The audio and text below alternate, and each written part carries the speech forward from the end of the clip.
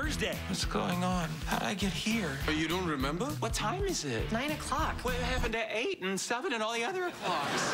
Where in the world was Sheldon Cooper? Does this place look familiar? It's hard to say. Sheldon! It's getting clearer. Find out on a new Big Bang Theory CBS next Thursday.